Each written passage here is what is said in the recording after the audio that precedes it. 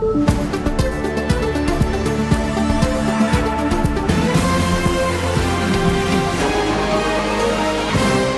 Madame, Monsieur, bonsoir et merci de me rejoindre dans la ronde de journaux parus dans la presse en ligne et dans les réseaux sociaux. La nomination du nouveau Premier ministre Samuel Kondé a été commentée de diverses manières dans les médias en ligne et les réseaux sociaux. Ouvrons cette revue de la presse en ligne par le journal La République qui titre sur sa vitrine Samuel Kondé, Premier ministre, le plus dur est à venir. À en croire notre consoeur de Lubumbashi, avec la nomination de Samuel Kondé Kenge, il faudrait racheter les temps perdus dans les disputes et autres humiliations entre les partenaires de la coalition FCC Cash, car les défis aussi énormes qu'urgents attendent son gouvernement qu'il est appelé à former dans les tout prochains jours. Point de vue soutenu par les phares qui titrent sous sa vitrine Samalou Kondé, deux ans perdus à rattraper. Selon ce quotidien, la RDC a perdu deux ans avec la coalition FCC Cash à cause de la présence de cette équipe ministérielle que dirigeait Ilon Kamba, des compatriotes qui avaient pour consigne de bloquer la matérialisation de la vision du chef de l'État Félix Antoine Tshisekedi Chulombo sur un noble et innocent idéal, le peuple d'abord.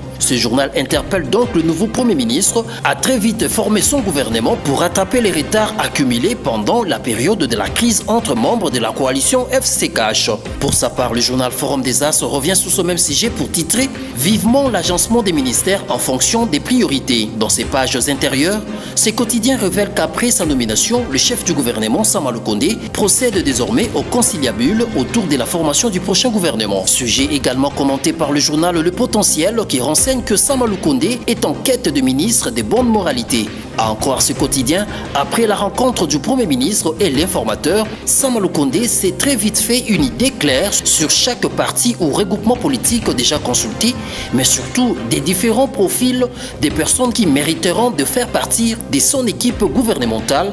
Comme il l'a dit lui-même, une bonne moralité sera l'élément primordial dans le choix des ministrables. Changeons de registre à présent pour parler de l'enseignement avec Forum des As qui a placé sur sa vitrine Voici les calendriers réaménagés de l'année scolaire 2020-2021. Selon ces quotidiens, le ministre de l'EPST a publié un calendrier scolaire qui va du 22 février, date de la reprise des cours dans toutes les écoles du pays, jusqu'au 8 septembre de l'année en cours. Thème également commenté par le journal Le Phare qui renseigne que cette rentrée des classes et de tous les défis et enjeux.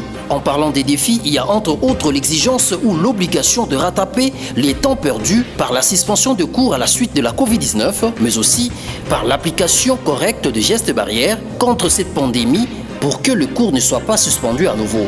Même son de cloche à l'issue avec le média en ligne 7 sur 7 qui présente les calendriers académiques de l'année 2020-2021. Dans ses lignes intérieures, ces médias en ligne renseignent que le ministre sortant de l'issue a publié un calendrier académique qui va du 22 février, date de la rentrée académique, s'étend jusqu'au 11 octobre de l'année en cours dans toutes les universités de la RDC. Bouclons cette revue de la presse en ligne par cette caricature où l'on voit le roi béton et les King Yakati en train de jouer au jeu de dames. Pendant le jeu, le roi béton confortablement assis sur un tabouret s'est plaint du jeu très compliqué de son adversaire, le Raïs. Le roi béton se plaint. Damo Yomobulu, eh, Vekapazate pour m'aider. Macheza Kwata. Voilà, c'est tout pour la revue de la presse de cette soirée.